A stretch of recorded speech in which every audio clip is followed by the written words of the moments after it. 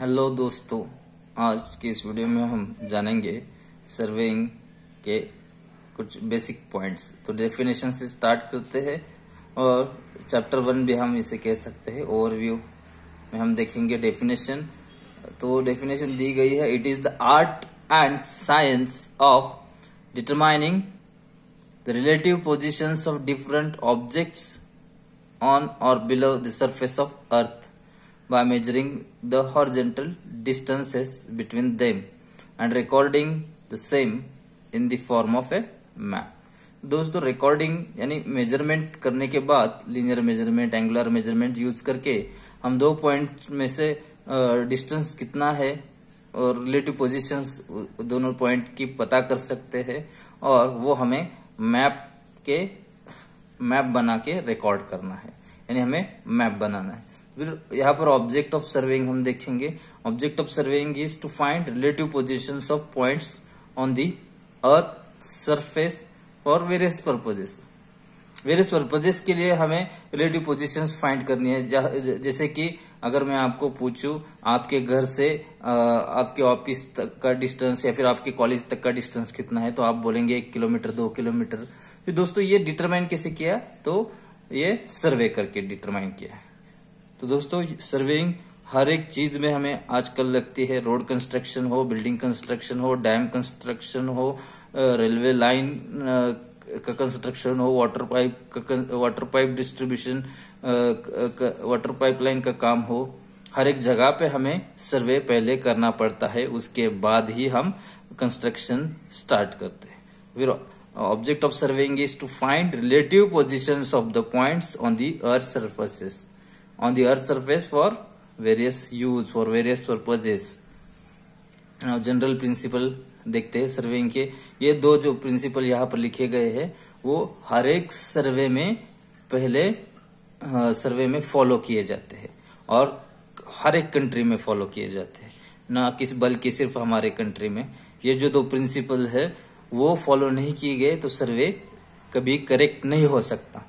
इसलिए सर्वे का प्रिंसिपल हम देखते हैं to work from whole to the part work इसका मतलब है पूरे एरिया से, पूरे एरिया को पहले बाउंड्री पॉइंट्स मार्क करो और फिर पूरे एरिया को छोटे छोटे एरिया में डिवाइड करो। यहाँ पर मैं आप लोगों को दिखा सकता हूँ, दोस्तों एक्सप्लेन करने के लिए मैं यहाँ पर आपको दिखाता हूँ अभी।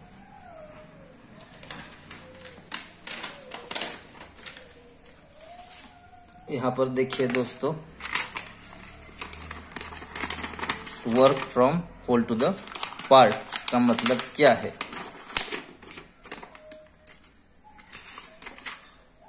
दोस्तों, यहाँ पर देखिए इस साइड में work from whole to the पान ये किसी टाउन का टाउन है यहाँ पर, ये टाउन और ये टाउन के बाउंड्री पॉइंट से और इस टाउन का हमें सर्वे करना है। तो फिर पहले हमें पूरा एरिया वर्क फ्रॉम वोल ये पहले वोल टाउन कवर करना है, उसके बाउंड्री पॉइंट्स आइडेंटिफाई करने हैं। फिर हम इसको छोटे छोटे पार्ट्स में डिवाइड करके हम उसका सर्वे करना स्टार्ट कर देंगे। ये दोस्तों, ये है इसका मीनिंग और दोस्तों why from work to the part because इसमें एरर एक्यूमुलेशन नहीं होता। एरर यहाँ पर बढ़ते नहीं, क्योंकि यहाँ पर एक साइड का मेज़रमेंट सीहर बाउंड्री पॉइंट के वजह से दो, ये बाउंड्री पॉइंट पहले मार्क की गई है और उसका मेज़रमेंट लिया जाता है।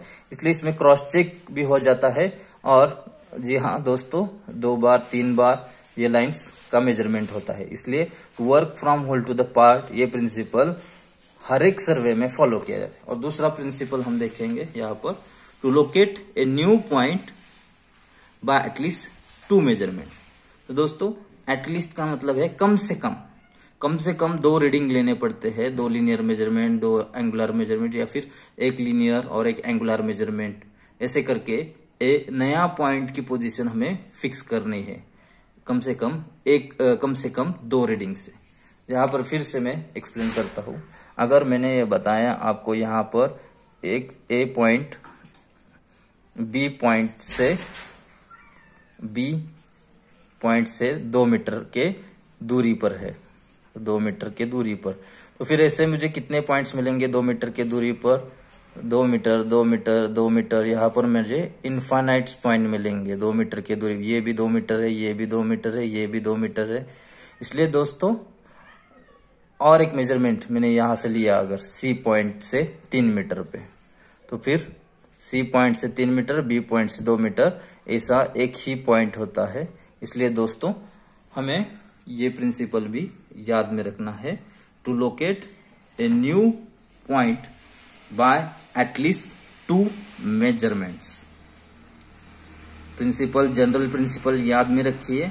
कोई भी सर्वे होगा और कहीं पे भी आप सर्वे कर रहे हो, ये दोनों प्रिंसिपल फॉलो नहीं हुए तो आपका मैप कभी भी सही नहीं बन सकता।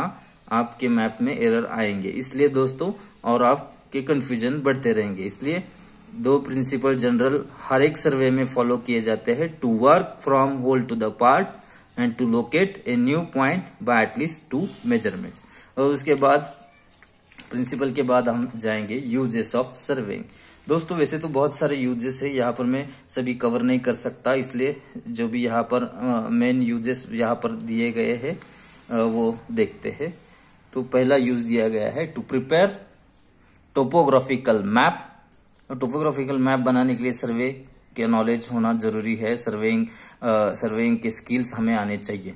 भी दोस्तों देखते हैं टोपोग्राफिकल मैप का यूज़ किस लिए किया जाता है? टोपोग्राफिकल मैप में हिल्स वैलीज दरिया जो जो है, पहाड़ नदियाँ विलेजेस टाउन्स जंगल, वो जो कंट्री में है, जिस देश में जिस देश का टोपोग्राफिकल मैप होगा, उस देश में कहाँ पर पहाड़ है, कहाँ पर दरिया है, नदियाँ है टाउन्स कौन कौन से, वो सब टोपोग्राफिकल मैप में दिखाया जाता है। आप लोग नेट पे सर्च कर सकते हो, topographical map of India, topographical map of England, आप लोग देख सकते हो और उसका स्केल भी चेक कीजिए दोस्तों। Next, to prepare cadastral map. Now, cadastral map का यूज़ कहाँ पे किया जाता है? कैडेस्ट्रल मैप का use use private properties, houses उसके जो प्लॉट्स है, वो सब दिखाने के लिए आजकल हम देखते हैं प्लॉटिंग प्लॉटिंग यहाँ पर शुरू है प्लॉटिंग वहाँ पर शुरू है। तो फिर दोस्तों, वो कैडेस्ट्रल मैप पे प्लॉटिंग दिखाए जाते हैं। प्राइवेट प्रॉपर्टीज़ जो होते हैं, उस, उसके लिए कैडेस्ट्रल मैप बनाना ज़रूरी है।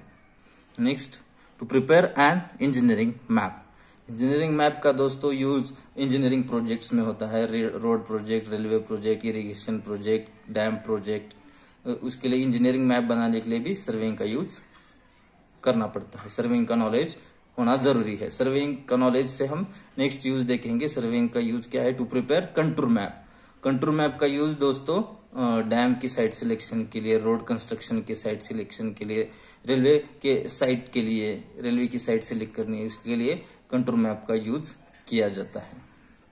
Next to prepare geological map geological map से हमें आ, उस एरिया के अंडरग्राउंड कौन कौन से रिसोर्सेस है कौन से टाइप का वहाँ पर रॉक है it is igneous rock sedimentary rock metamorphic rock और जो हम आजकल देखते हैं जो टाइल्स है, वेरे जो बिल्डिंग में यूज़ किए जाते हैं मार्बल है ग्रेनाइट है किचन में यूज़ किया जाने वाला, वो सब हमें जियोलॉजिकल मैप से पता चलता है, किस एरिया में कौन से टाइप का रॉक प्रेजेंट है। दोस्तों, ये था और एक यूज़ देखते हैं to prepare archaeological map archaeological map से हमें पता चलता है historically important places for example अभी पुणे में कौन कौन से फोर्ट्स है शिवनेरी है देन सिंहगढ़ है। फिर वो जो आर्कियोलॉजिकल मैप होता है, उसमें archaeologically map shows ancient places historical places जो भी पुराने जमाने में जहाँ पर कुछ घटनाएँ हुई थी, वो सब दिखाया जाता है आर्कियोलॉजिकल और जहाँ पर उसके कुछ अवशेष अभी बाकी है। वो आर्कियोलॉजिकल मैप में दिखाए जाते हैं, और इसके लिए फिर सर्वे करना ज़रूरी है। नेक्स्ट अब आगे बढ़ेंगे हम चैप्टर इस चैप्टर में क्लासिफिकेशन ऑफ़ सर्विंग तो major classification is plane surveying and geodetic surveying now geodetic survey क्या है और प्लेन सर्वेइंग क्या है, ये हम देखते हैं। दोस्तों प्लेन सर्वेइंग में curvature of earth is not considered यानी हमारे अर्थ का शेप स्पिरोइडल है। हमारी earth spheroidal shape of our earth is spheroidal in nature what do mean by spheroidal यहाँ पर देखिए। It is not exactly spherical. It is like this. Shape of our earth is spheroidal in nature. तो फिर दोस्तों, इसलिए जब हम छोटे एरिया में काम करते हैं तो प्लेन सर्वेइंग फॉलो करना पड़ता है। और अब जब एरिया ज़्यादा होता है, तब अर्थ का सरफेस कंसिडर करना ज़रूरी होता है। क्योंकि अब अब अर्थ का सरफेस नहीं कंसिडर कंसिडर करेंगे तो दोस्तों एरर आ सकते हैं। इसलिए दोस्तों spheroidal shape of our earth is considered in geodetic survey and spheroidal shape of shape of our earth is neglected in plane survey that is the first point curvature of the earth surface. Curvature of the earth surface is neglected in plane surveying. Curvature of, curvature consider नहीं की जाती, क्योंकि इसका काम यहाँ पर दिया गया है। स्मॉल एरिया पे जब सर्वे किया जाता है स्मॉल एरिया पे काम कर प्रोजेक्ट है, छोटे प्रोजेक्ट से, इसके लिए छोटा एरिया लगने वाला है, वहाँ पर प्लेन सर्विंग का यूज़ किया जाता है। Next earth surface is considered as plane क्योंकि एरिया एरिया एरिया यहाँ पर छोटा है इसलिए आ, हमें आ, बिल्कुल भी कर्वेचर अर्थ सरफेस का नहीं कंसिडर करना पड़ता यहाँ पर। और एक point next line joining two points is considered as straight line यहाँ पर दिखाई दी गई है। ये स्ट्रेट लाइन कंसिडर की जाती है। Next triangle is also considered as plane triangle and angles of triangle are considered as plane angles next area is less than 250 kilometre square ये सब हो गया प्लेन सर्वेइंग प्लेन सर्वेइंग तभी किया जाता है जब एरिया एरिया छोटा है area is less than 250 kilometre square यहाँ पर क्लियरली दिया गया है। जब एरिया इससे छोटा है, तब प्लेन सर्वेइंग के प्रिंसिपल्स हमें फॉलो करने हैं। लाइन कंसिडर स्ट्रेट कंसिडर करनी है। ट्रायंगल भी अगर कंसिडर करना है, वो स्ट्रेट ट्रायंगल कंसिडर करना है। कर्वेचर अर्थ सरफेस का बिल्कुल भी कंसिडर नहीं करना। दोस्तों, उसके बाद जाएँगे जियोडेटिक सर्वे में। भी दोस्तों, यहाँ पर हम क्लियरली कंपैरिजन देख सकते हैं। ये है प्लेन सर्वेइंग जहाँ पर ट्रायंगल प्लेन है और ये है जियोडेटिक सर्वेइंग जियोडेटिक सर्वे में हम देखेंगे